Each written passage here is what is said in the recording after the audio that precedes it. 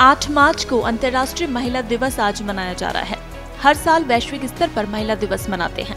इस दिन को मनाने का उद्देश्य महिलाओं को उनके अधिकारों के प्रति जागरूक करना, समाज में उनके योगदान के लिए उन्हें सम्मानित करना और महिलाओं को हर क्षेत्र में कार्य करने के लिए पुरुषों के समान ही मौका दिलाना है।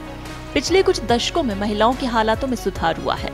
आज महिलाएँ कई क्षेत्रों में कार्यरत हैं और राष्ट्र निर्माण में अपना योगदान दे रही हैं।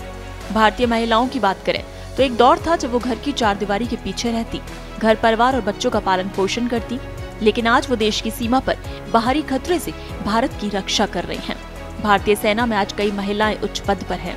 कुछ महिलाएँ वायुसेना में दमदार लड़ाकू विमान उड़ा रही हैं, तो कुछ नौसेना की वर्दी में भारत का गौरव बढ़ा रही हैं। तो अंतर्राष्ट्रीय महिला दिवस के मौके पर भारतीय सेना में शामिल सबसे दमदार महिला अधिकारियों के बारे में आपको बताते हैं जिनका अदम्य साहस देश का मान बढ़ा रहा है और हर नारी को प्रेरित कर रहा है। पहली महिला लेफ्टिनेंट जनरल पुनीता अरोड़ा। भारतीय सेना में कई महिला अधिकारी शामिल हो चुकी हैं, जो कई पदों पर कार्यरत रहते हुए देश सेवा में लगी हैं। लेकिन इन महिला अधिकारियों के लिए रक्षा विभाग का मार्ग खोलने का श्रेय पुनीता अरोड़ा को जाता है।